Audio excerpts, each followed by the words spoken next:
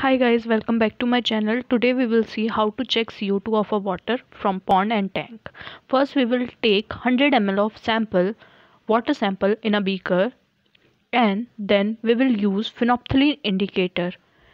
10 drops of phenolphthalein indicator will be added in the sample and if the color of water does not change to pink it means the CO2 is present and if the water color changes to pink it means the CO2 is not present in the water. So if CO2 is present in the water then the pink color will not appear and we have to titrate the sample with N by 44 NaOH.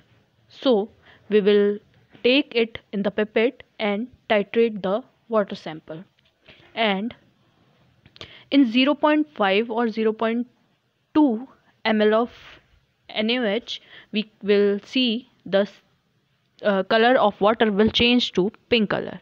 So we will take the reading of NaOH used and we will multiply it by 10 and we will calculate the CO2 of water free CO2 of water.